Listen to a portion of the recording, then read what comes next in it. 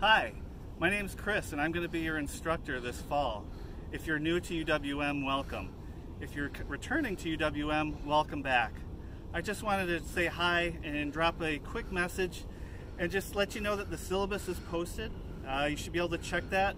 It may change between now and the first day of class, but it should give you a sense of the expectations and what kind of semester we're looking at.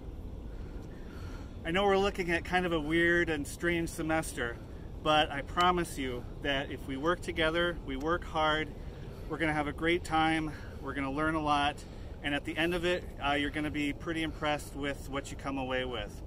Until then, my number one rule is that we enjoy every time off possible. So I want you to take the rest of the summer break, enjoy it, chill, and until then, I will see you on Wednesday, all right? Later.